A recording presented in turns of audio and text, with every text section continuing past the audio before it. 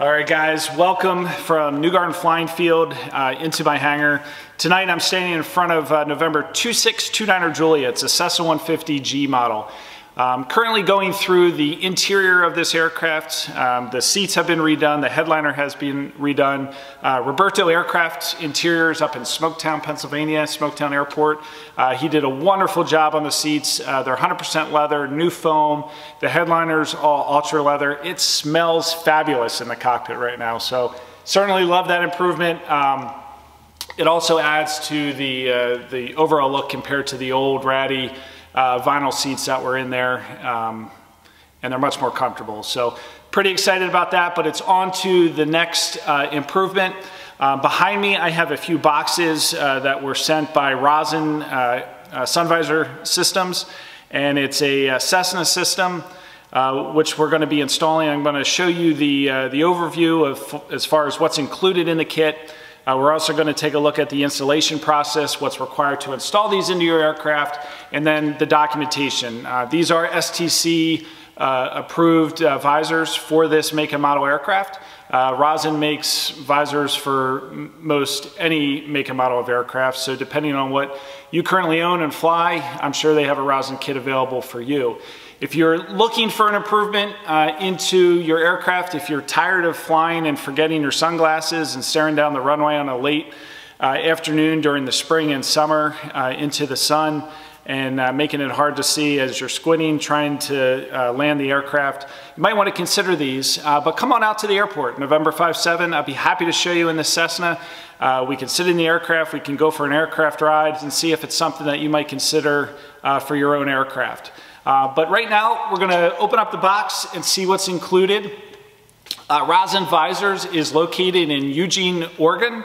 Uh, these visors uh, block 99.9% of UV A and B rays. So uh, it, it, does a lot for your eyes and it does a lot for the vision on those sunny days, looking down that runway or, or flying from point A to point B. Um, and it's, uh, uh, it's, it's really a nice system to have.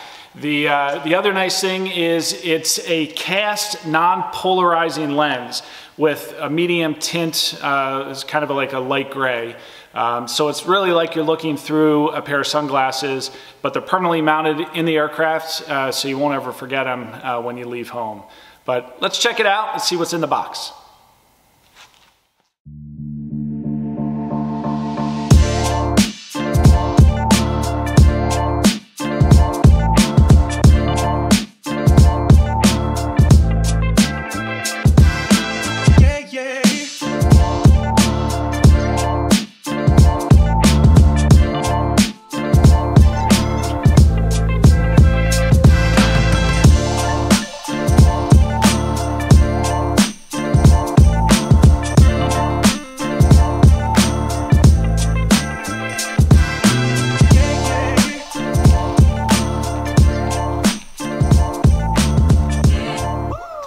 Now that we got everything unboxed, the packaging was terrific.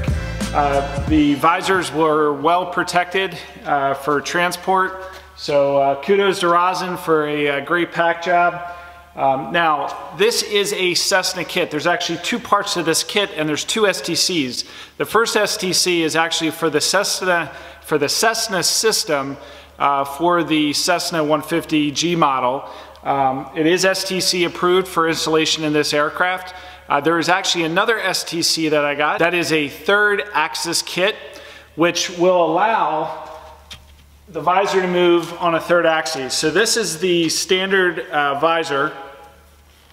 Um, the standard uh, Cessna kit allows just for tilt. So you're using it, you've uh, moved the visor down, or when you're finished and not using it, moves it in the up position. But you're limited to just that movement. Okay, a third axis kit will actually give you a little bit more freedom as far as placement of your visor because instead of just up and down, it'll allow the, uh, the user, the pilot, to move up and down, but also in this, I guess it would be, yes, it would be in this direction. All right, in order to do that, what uh, Rosen has done is that they included in the, uh, the modification kit, the third axis mod kit, a new lens uh, because it allows for a cutout to be able to travel in that downward direction, as well as a new swivel point. So the first part of this installation is to uh, put the new swivel point on, which is anodized aluminum, and uh, install that onto the bracket before we go into the aircraft. So tonight, uh, we're gonna get that on and uh, get ready for the next step.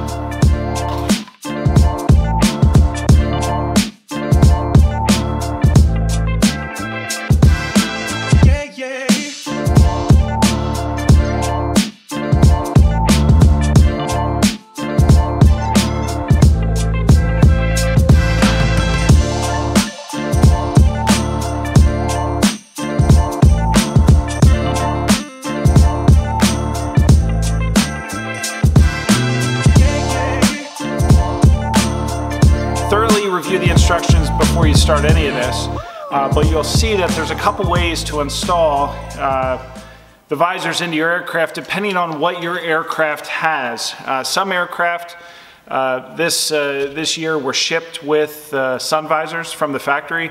Others were not. If they were not, then you're going to have to drill some holes and insert some nut plates. Now, Rosen does include all that hardware in the kit as well as uh, uh, the, uh, the Allen wrenches for the hardware.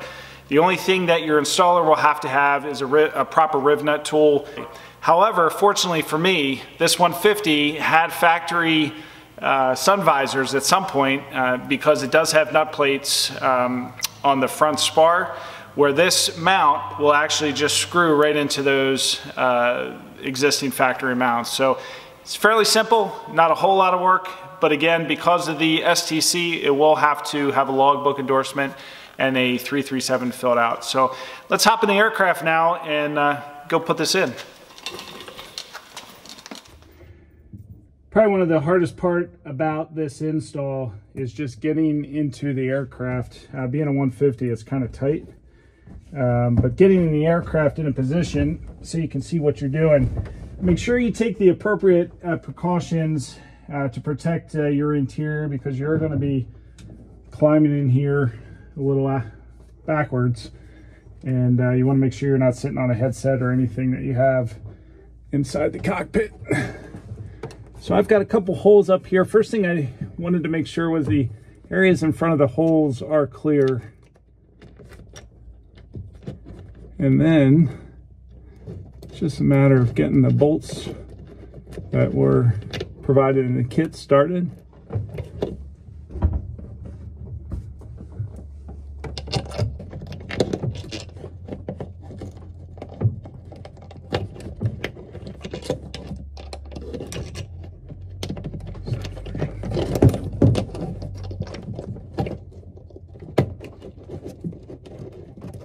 There we go.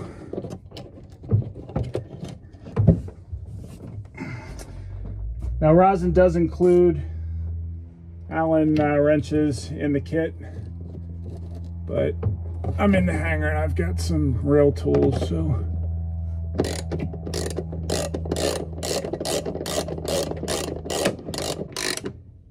There we go. Now it's tightening up. I don't want to overdo it.